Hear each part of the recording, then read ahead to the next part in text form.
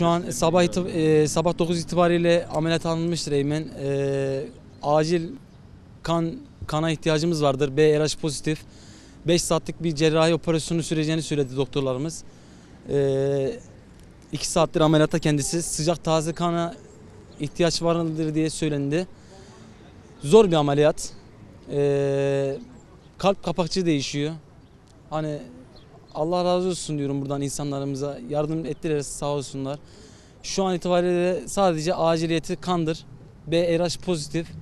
Allah rızası için diyorum buradan. Sadece hani geleninden Allah razı olsun diyorum.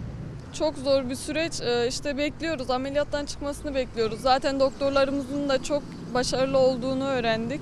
İnşallah önce Allah sonra onlar sayesinde çıkmasını umut ediyoruz. Şu anda tek beklediğimiz kan, sıcak kana ihtiyacımız var. BRH pozitif. Ee, Kan veren olan ya da getiren olursa çok memnun kalırız. Herkesten Allah razı olsun.